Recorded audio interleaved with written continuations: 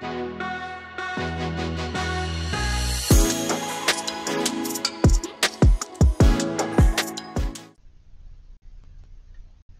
guys and welcome to my desk where I'm trying to decide do I want the light colored file folders for my project which would be okay because I could ink them and bring out some color or do I want to go with the green greenish turquoise bluish color which goes great with this signature. Really good. But I don't feel like it works with these ones. So uh, moment of truth. I think I'm going to go with the cream colored ones and I'll leave these ones for other projects. And I'll just ink these. So we're going to get started ASAP we're going to get moving today. I'm going to I've already cut out all the ephemera. I am going to print out a few more. I think I messed up a couple of these inking them. So I'm just going to cut out another whole set of the ephemera, maybe two of the mason jars, maybe two of the lined elements, just so I have enough, right? Because, and I suppose I could always come back and add, but I will be printing out more of this digital kit and I will be putting, as I said, this will be one side of the journal as a you know front cover to the journal page.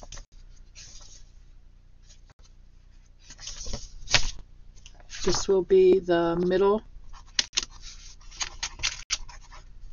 Um, I'm thinking because I want to set them up so that when you open the journal itself, you see, let me find my girl here.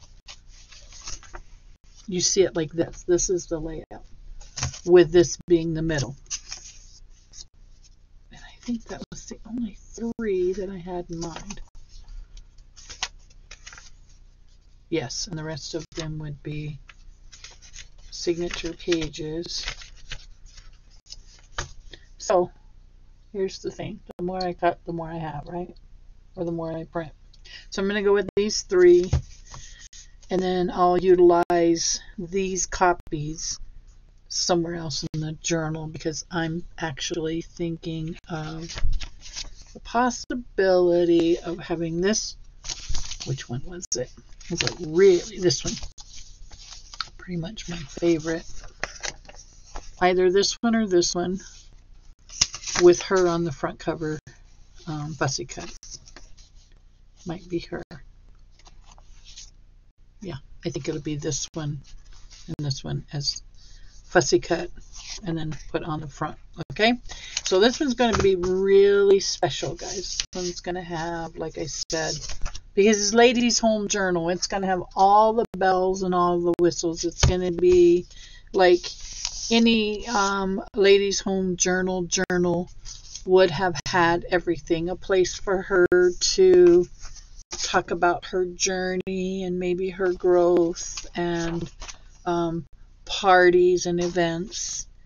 And then so lovely would be see she's on the back and I could reverse that I suppose or flip it ooh you guys well, no, because this one doesn't have writing. So it would be just like this. Okay, so I might, though, she's a little smaller, put her there on the plant. See, I got to figure all this out right there.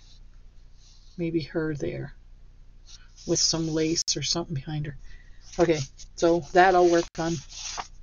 Got to get my stuff straight here, though, because I keep dreaming and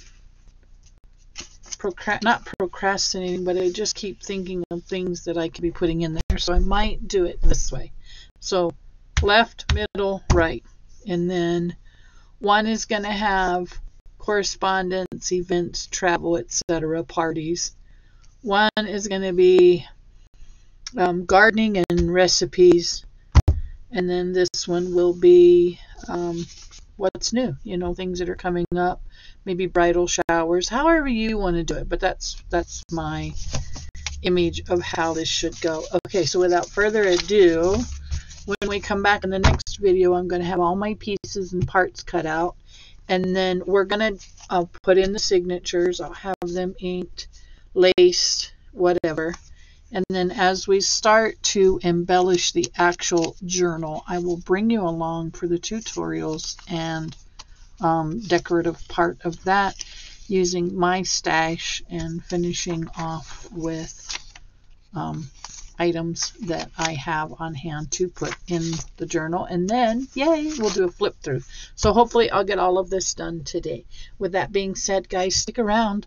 Um, as I've been saying, I've uh, been getting my kits from decor8yourlife.com and I am on their design team and they have some events coming up throughout the remainder of the year. I have some events that I'm going to be doing for Decorate Your Life later in the year. So um, I can't give exact dates at this time, but I can tell you there's a lot coming up, and you're going to want to jump over to her website, www.decor8yourlife.com, and I'll leave it in the description box, as well as information for her assistant, Jenny, and how to reach Sandi on her website's Facebook channel, etc. They have a lovely uh, Facebook channel as well and you're not going to want to miss it. Let me tell you, this is a uh, this is an exciting, um, energetic group of ladies putting together exciting, energetic projects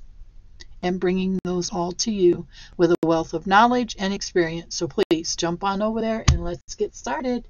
Um, if you want to do this kit and do a craft along with me, go to her website now. I will be a few days before I get this out um, if you are needing for her to print this for you, she does. Um, right now, things are going a little bit. She's getting things done, guys, but she's um, helping her husband recover from a surgery. So all prayers and support are greatly appreciated. Do not let that stop you from getting over there and getting your order in. She is getting those out. So, um, yeah, don't miss out. This is going to be crazy fun, and I'm going to be bringing aboard um, some other uh, contest challenges, just a lot of great stuff, and um, I'm hoping you'll come along. All right, guys, thanks for watching, and don't forget, get over there and get your order. Bye, guys.